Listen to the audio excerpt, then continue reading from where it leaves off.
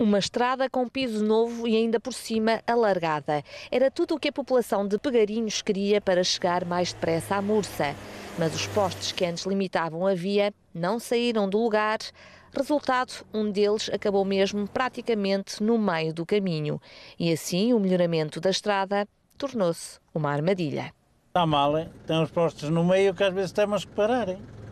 Mesmo assim à pressa que vem outro ali na curva não podemos passar. Já apanhou ali algum susto? Já, já apanhei lá alguns. É que as pessoas já sabem como é. Quando vem a estrada boa, convida. E depois apertam mais um bocadinho. Quando tal, nós somos daqui, conhecemos. Mas as pessoas que vêm de fora não sabem.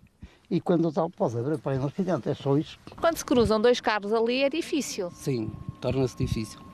Não há tentação de contornar o posto do lado direito?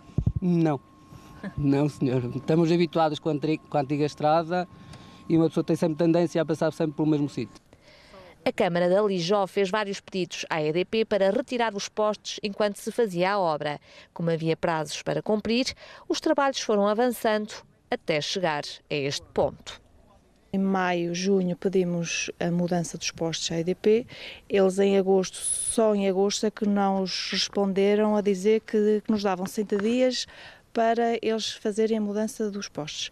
Estes 60 dias já expiraram e continua tudo na mesma. Já lá vai para dois meses e tal. Agora, quando tiverem que retirar os postos, isto vai causar mais prejuízo. É, pois vai, depois terão que levantar qualquer trem e depois terão que, que o repor novamente.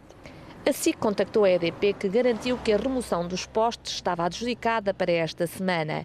Assim sendo, a obra terá então de avançar esta sexta-feira a cumprirem-se estes prazos agora estipulados.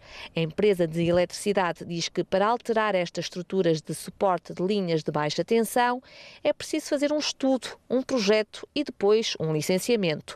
Procedimentos que demoram, que depois acabam em imagens como esta.